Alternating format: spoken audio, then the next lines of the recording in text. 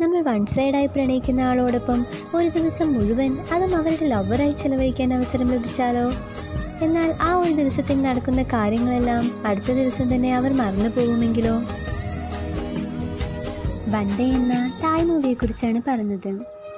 പ്രണയം മനോഹരമാണ്. തിരിച്ചു കിട്ടില്ലെന്നും സ്വന്തമാകില്ലെന്നും അറിഞ്ഞിട്ടും ആത്മാർത്ഥമായി സ്നേഹിക്കുന്ന വൺ സൈഡ് പ്രണയങ്ങളോ അത് അതിലും മനോഹരം.